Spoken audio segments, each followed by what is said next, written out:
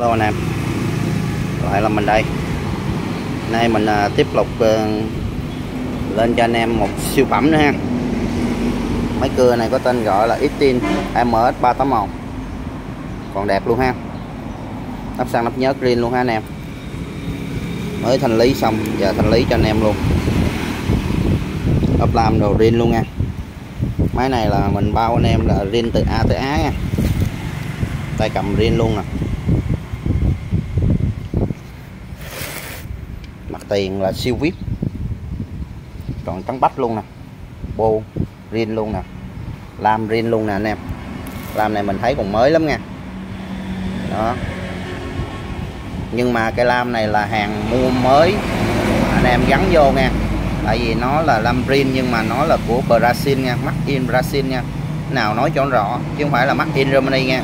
Cái lam Germany nó rất là mắc tiền.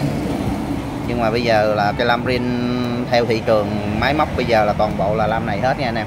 Nhưng mà nó vẫn là lam chính hãng nha. Xích đồ là còn ok, con CT luôn. Đầu lòng trắng luôn anh em. Chưa vệ sinh mà còn trắng bách luôn nè. Trắng lam rin luôn nè. Đó. Nói chung là em máy này là full rin. Hơi hám là đùng đùng. Hơi hám dữ dằn luôn.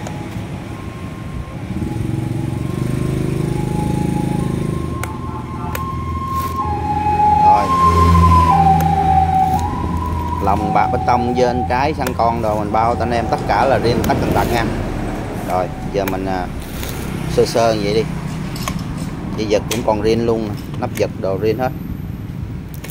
Có cái thắng là xài hết được rồi nha anh em. Nào đó đó chọn rõ ra. Giờ mình à, đi vào mình test tiếng nổ thực tế cho anh em nghe và cảm nhận đánh giá chất lượng bên trong con máy nha. Đánh mình là rõ lắm. Nói nói phải nổ máy nghe.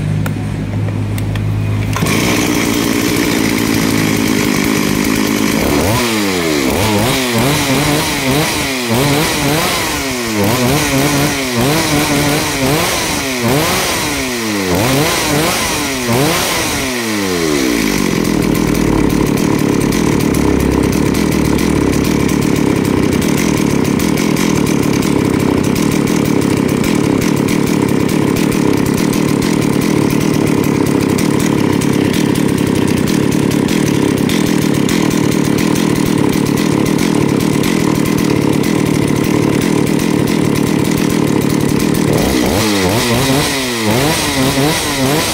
Rồi